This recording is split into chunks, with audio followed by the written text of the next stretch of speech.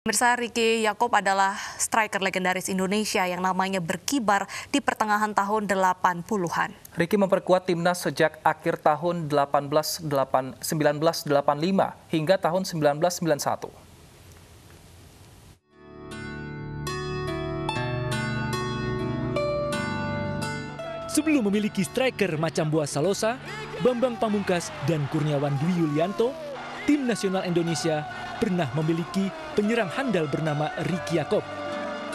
Ricky memperkuat timnas sejak akhir tahun 1985 hingga 1991.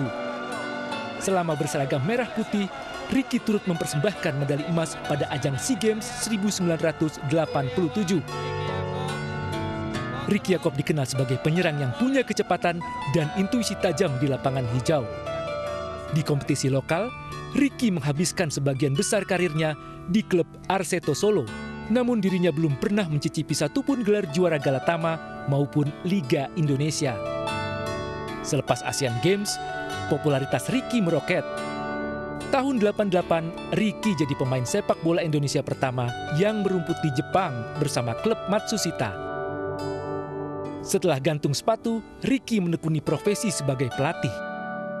Ia membuka sekolah sepak bola yang berlokasi di lapangan F Senayan, Jakarta. Tim Liputan iNews melaporkan.